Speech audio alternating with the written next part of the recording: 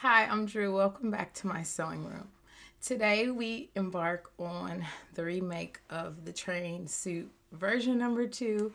If you've been following the shorts, I know you know what's going on here. If not, check those out so you can get caught up. It was an interesting experience, um, the first suit that I made and then remaking it and all of those things. I think a lot of it has to do with personal style and personal preference and just trying to discover what that is. So I know we're supposed to be finishing up the Christian Dior project, but I mean, she's still here. Okay, she's here. She needs lining. I ordered some and the wrong stuff came, so that's that. But I still really want a arrival suit for the train trip. The, the last make, the truth is, it's just not, it's not me. I've been trying to step out of my comfort zone as when it comes to color and print and all of those things, but I feel like that one was a little bit too far out of my comfort zone, especially when my last couple of makes were like just really kind of pushing myself a little bit out of my comfort zone, but things that I still really, really liked. So the audience is split if they like this suit or not. I don't I don't, I don't, I don't think that I do. The colors are just a lot for me. So today we're gonna try and make a travel arrival suit. We're gonna use this pattern and we're gonna use this fabric. I kept looking at the train car photo for inspiration and I just kind of picked out those colors without paying attention to the color in there. That is the color that I would really wear. And I've had this fabric for forever. Um, it feels like coat fabric, I think. But I hope it's not a mistake using it for this suit, but we're to try it anyway. And we are to finish the Christian Dior dress. That is the dinner dress. It has to be finished. We are going to finish it. But I want an arrival dress that I feel really, really good about. So we're using this vintage Vogue one. I haven't opened it yet, but I'm about to. Um, it looks like it's in really, really, really good condition. Whoever had it took very good care of it. It looks unprinted. I'm not sure. It's Vogue 6952. Copyright 1949. So, it is unprinted. But it looks really good. We have instructions. We have fabric. We are going to get started. And I like this style. I don't think I'm going to put the pockets on the jacket, but I think I'm going to put them on the skirt. Don't know yet. We'll see what happens as we get there. But let's just get into it. This video is about redemption. This this sewing project is redemption. So let's get into it.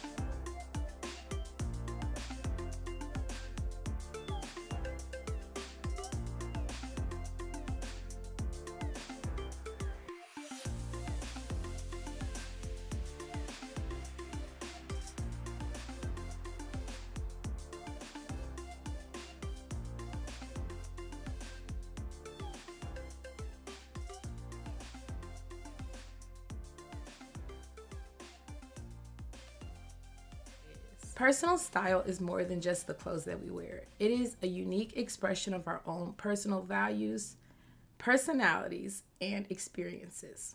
It encompasses the way that we dress, the way that we carry ourselves, and the way that we express ourselves to the world. In essence, personal style is a visual representation of our inner selves. The first suit that I sewed did not only not look like me, it did not feel like me. And that is how we ended up here sewing a second suit for my train trip arrival. So many of you loved the first suit. So many of you didn't.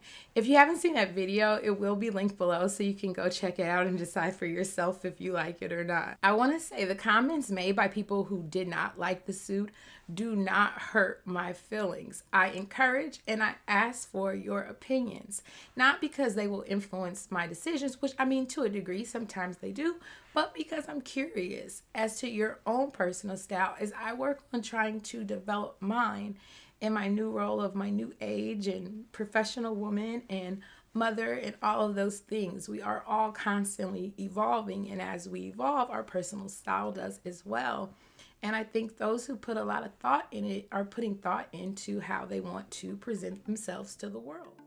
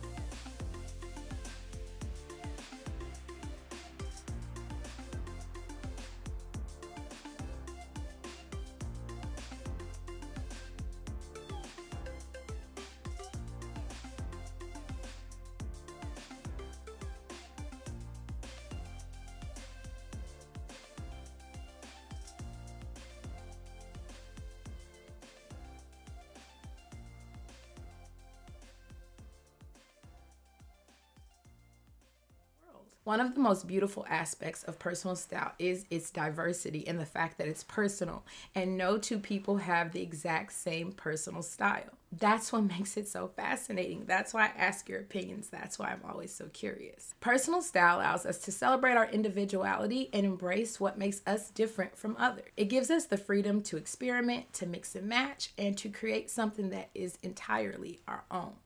At its core, personal style is about authenticity. It's about being ourselves and expressing who we are without reservation. Whether we prefer bold and vibrant patterns and colors or understated elegance, our own personal style should reflect our innermost desires and beliefs. Personal style is dynamic and evolving. It changes as we grow and learn and experience new things.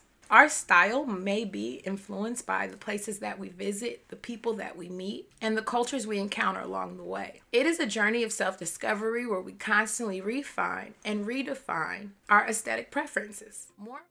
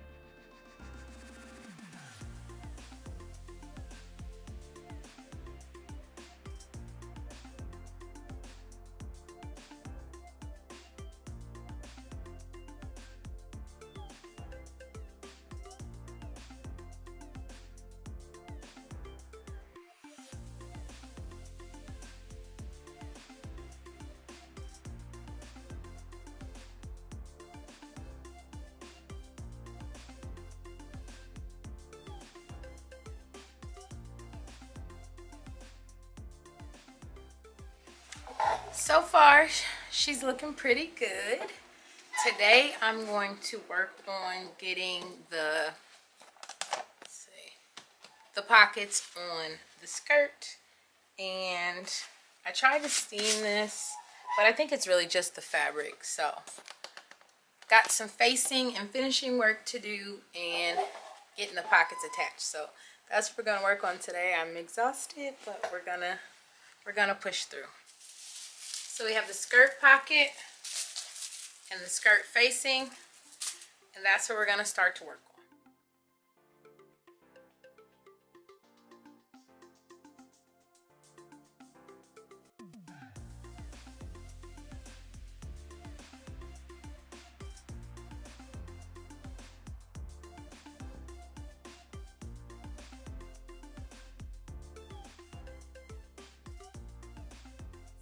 Moreover, personal style is empowering.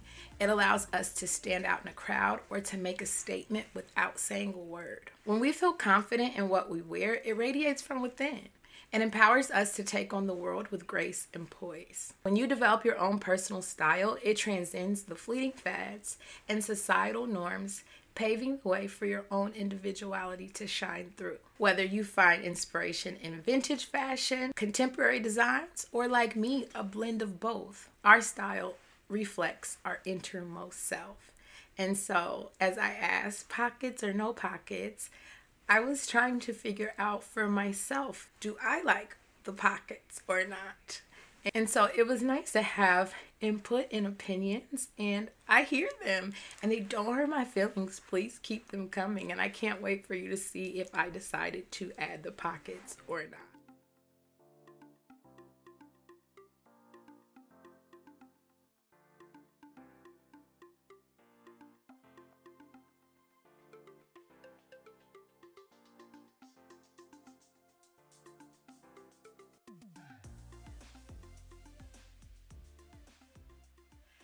So yesterday we spent about an hour doing the pockets completely wrong. They're supposed to fold out like this, but this is my inside, not my outside. And so I recut them. And we are going to attempt to get this right today. If nothing else, pockets. So I attached it, turned it to the inside, and pressed. I think that's the part I might have skipped yesterday.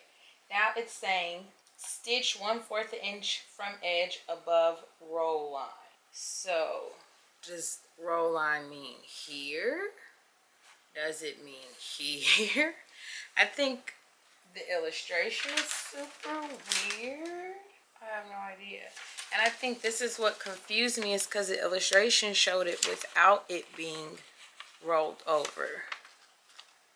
Oh, turn facing inside. So technically, I still did it wrong. I'm gonna look back at the one I did yesterday and see if I can figure out what went wrong. I don't know. I'm gonna I'm gonna practice on the other one and see. So I've been playing around with the pocket, trying to figure out exactly where it should go. It is so hard with these unmarked patterns because the little, the chalk gets erased. You don't know what the different sizes of dots mean, all of that. So I've decided I'm going to attach the waistband and the zipper and hem it and everything and then do the pockets last. With the skirt on, I'll be able to see where exactly I would like for them to go. So, pockets aside, we're going to do zipper and waistband and then figure out pockets.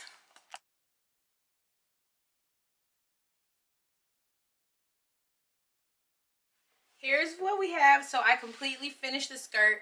Still trying to decide if I'm adding pockets, where I'm adding pockets, and the size of those pockets. I posted a short and people are split. The audience is split on should I have the pockets or not. But I think that I should, but I agreed with some of the comments that maybe they're just too big. Let me grab it. So maybe they are just a tad on the big side, but that was like the point of the over-exaggerated pocket. So I don't know. So we're going to leave that alone for today. Today we are going to work on finishing the jacket. It needs the facing around the back, it needs the cuffs, and then some hand finishing work on this collar. And otherwise, it is done. Oh, it gets pockets as well, I believe. Yes, so the jacket gets pockets too. So we're just going to finish everything and then come back to the pocket situation. So that is the plan for today. Let's get to it.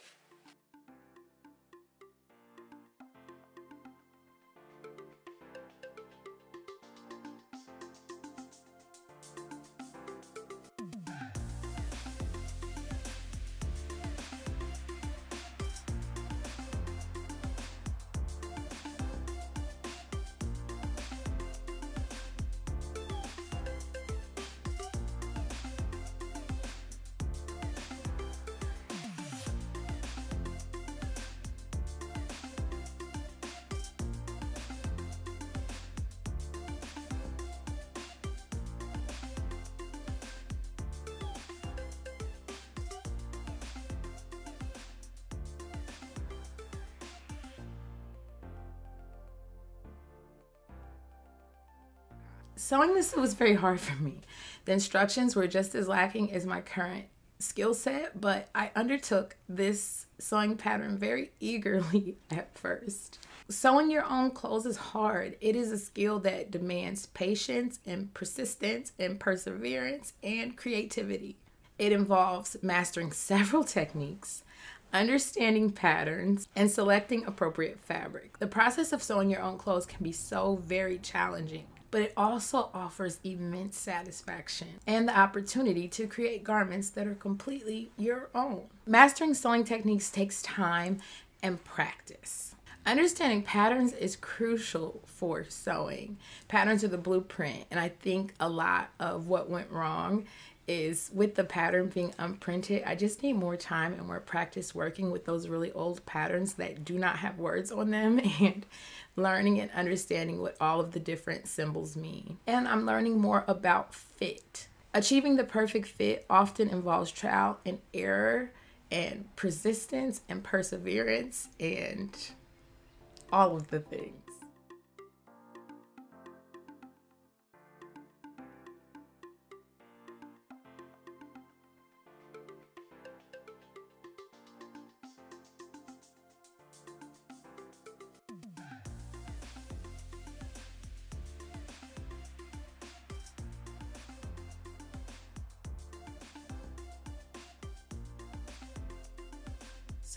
Did not go well with the whole cuff on the sleeve situation. So what I've done is recut the cuff and the, I'm using a different fabric for the lining. I think will make it easier to press. And I'm to stitch it on the way that I know how. Because the way they wanted you to was crazy. I've also cut out the lining front and the lining back. And we are going to complete this jacket today if it is the last thing that we do. So here is the cuff. They wanted me to finish the cuff, face it, then put it three-fourths of an inch from the edge, and then whip stitch this down, which, I mean, may not be the worst. I don't know if that's necessarily like a bad idea or the worst technique, but I'm going to do it where I leave my edges open and stitch it together and then it'll be a sort of pull down situation um, with the raw edges in the inside and whatever, I guess. I don't know. The instructions on this pattern have been crazy. This fabric has been crazy. It's, it's it's been what it's been. Still deciding on the pockets. I've been posting shorts and you guys are so split about pockets or no pockets, the size of the pockets, all of those things. But I think let's get this completed today and then um, let the pockets be the last thing to do. This pattern might have just been a tad bit out of my realm as it required knowledge and understanding of tailoring and tailoring techniques that I do not yet possess, but it was great practice in addition to the fabric selection. Selecting appropriate fabrics is essential for successful garment construction.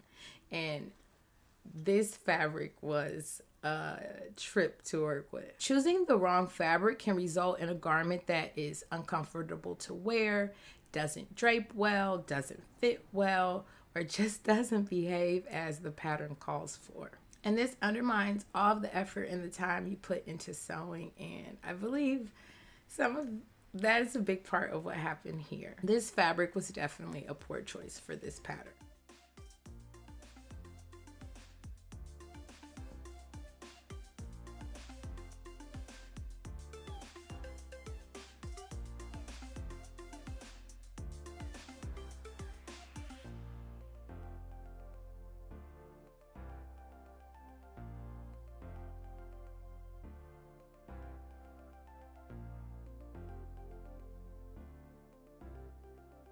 As I said and as you've seen, this was an unprinted sewing pattern and I could have gave up at any moment, in, especially in the beginning, as someone in the comments mentioned they would have. But I am keenly aware that pushing oneself fosters personal development and growth. It is through challenges and pushing past comfort zones that you learn your true capabilities and potential. When faced with adversity, whether it be in sewing, relationships, or career, pushing oneself to persevere through hardship cultivates resilience and fortitude. Each obstacle conquered becomes a stepping stone towards self actualization. And isn't that where we're all trying to get? By venturing into uncharted territories and pushing past discomfort, you unlock new perspectives and ideas. Creativity thrives in the realm of uncertainty, where boundaries are pushed and self imposed limits are challenged.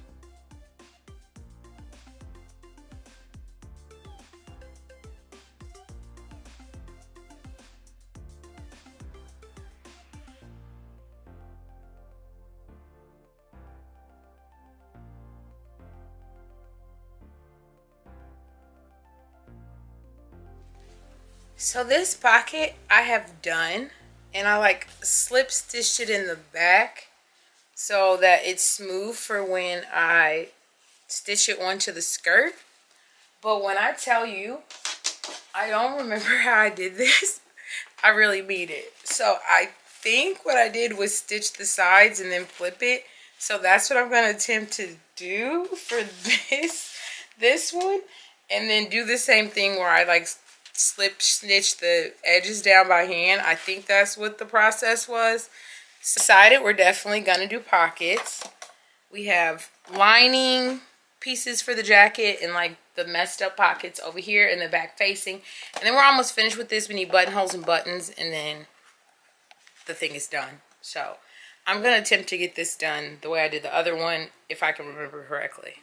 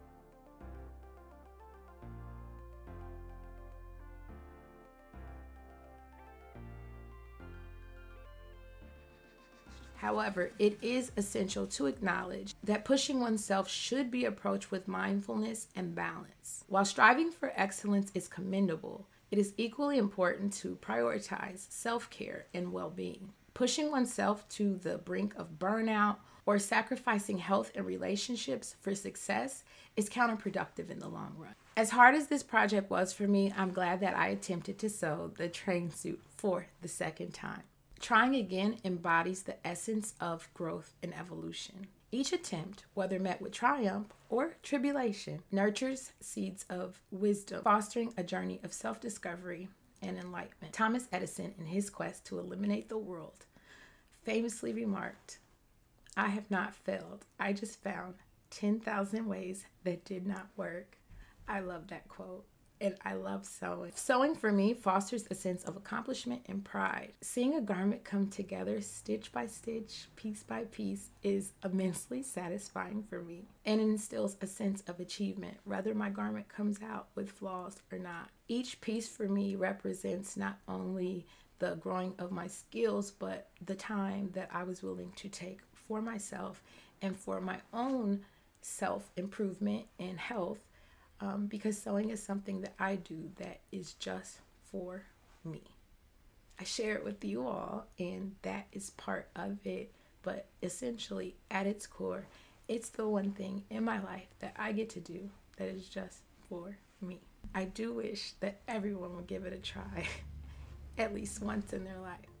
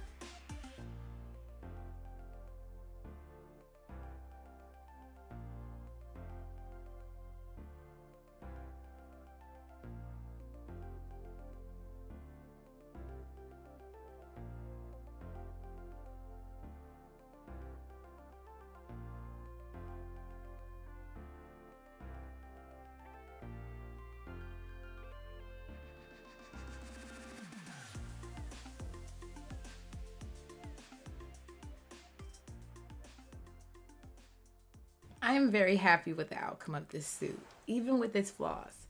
And I look forward to wearing it to meet with a friend that I can't wait to hug. And for that and other reasons, this suit will always be very special to me. And I'm very happy with the fact that it is more my own personal style than the first train suit that we sewed. Personal style is a celebration of individuality, authenticity, and empowerment. It is a journey of self discovery and self expression where we embrace what makes us unique and honor our innermost desires. As we navigate through life, let us remember that personal style is not just about the clothes we wear, but about the essence of who we are. So dare to be different, dare to sew really big pockets on skirt, embrace your personal style, and let your inner light shine bright for the world to see. And I will see you in the next one that is soon and sure to come. And thank you to Janet, Heather, and Victoria for buying me coffee. That helps contribute to my sewing journey, my fabric, my trips, all of the things. That link will be in the description if you would like to contribute to that as well. And give this video a share if you can't contribute in that way. Leave me a comment. Let me know what you think. And yeah, I'll see you again very, very soon. I'll share all of the train things. Bye.